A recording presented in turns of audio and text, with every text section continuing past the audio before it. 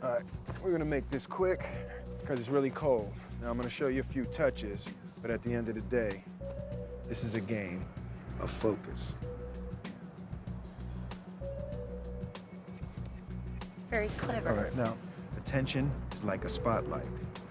And our job is to dance in the darkness. I didn't even feel you take that. The human brain is slow and it cannot multitask. Jesus. When All right, I'm sure you can flip a leather on his feet, but what we're talking about is much more complex when than did you that. take my wallet? You take Zumba, Well, it's actually a really good cardio workout. Thank you very much. thinking with your hands. All right, you got to get inside the Vic's head, perceive from their perspective. Human behavior is very predictable. If I look at my hand, it naturally pulls your gaze and allows me to enter your space. But when I look up at you, it causes you to look directly at me.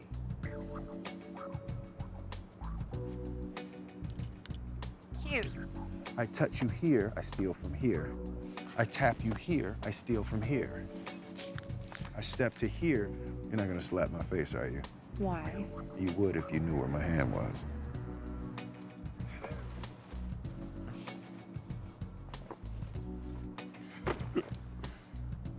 Okay. I get it.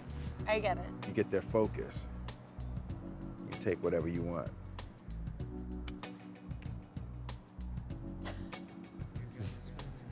You be safe.